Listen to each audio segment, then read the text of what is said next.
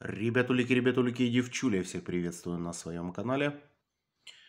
Так, ну что, мои хорошие, OLX доставка, Easy и Violet.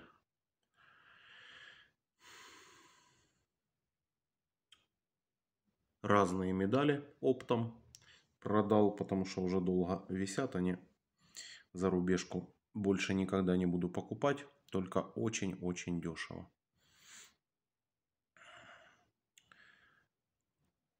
Здесь у нас что? Ветеран труда. Медаль за благотворительность. Немецкие. Юбилей, Кожуков. Октябрьская революция. Планшетка. Офицерская. Мундштук. Вот такой фирма. Вот, мои дорогие. Вот такие продажи. Это все за сегодня. OLX доставку надо отправить. Кстати, он штук дорого продал. Фирменный тоже лежит уже. 300 гривен. Медали 1300 и планшетка 350. Я считаю нормас. Не забывайте указывать, если предмет имеет дефект, потому что потом будут проблемы. А, я уже вам говорил, что мне нравится Виолити тем, что там борьба постоянно идет с плохими ребятами, которые не выкупают лот. Это у меня сейчас два как раз таких гражданина.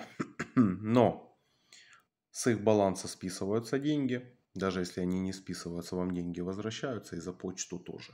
Поэтому никак вы схитрить не можете. Ну а таким динозаврам, как мы, в принципе, даже если 50 э, товаров я отправлю и какие-то будут непонятки, ничего с этим не случится проблемно проблем никаких не будет у нас по финансам, потому что все это уже окупилось несколько раз. Я постоянно об этом говорю. Кстати, буду говорить, наверное, еще тысячу раз. Люди вообще не слышат, не слушают и не хотят слышать. Писал мне подписчик. Значит, ну не подписчик, а в группе. Да, чему тут можно учиться? Все можно в интернете найти. Я с вами согласен, но первые, первые этапы, первые вот эти шаги, каких-то месяц, два, три, четыре, нужен человек, который будет вас вести за ухо. Иначе вы накупите. А я вам сейчас объясню, э, в чем тут дело.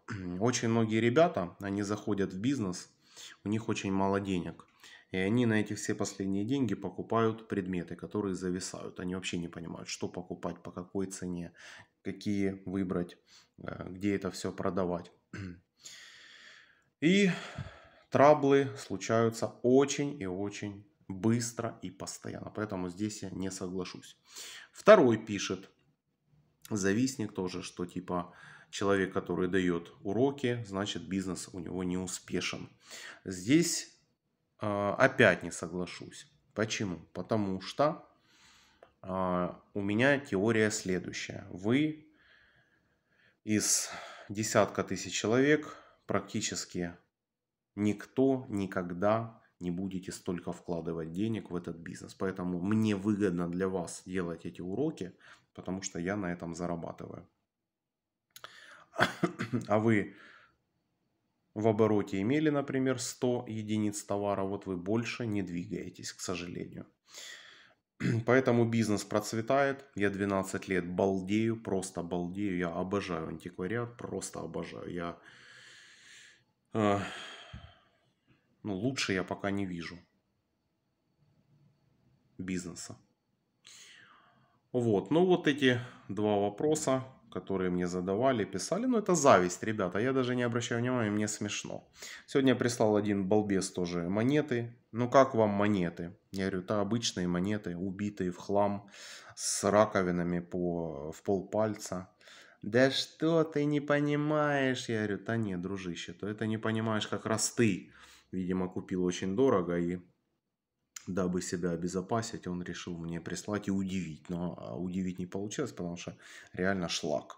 Они все в слабах, не в слабах, а в этих, в белых э, пленках. А там реально раковины. Что он накупил, я так и не понимаю. Ну вот, мои дорогие, вот как-то так. Подписывайтесь. Э, магазинчик на Виолите. Сегодня уже выставлено 1140 единиц товара. Уже мы перешагнули больше, чем полмиллиона а, финансов э, в соизмерении с выставленным товаром. Товара очень много. Пошла.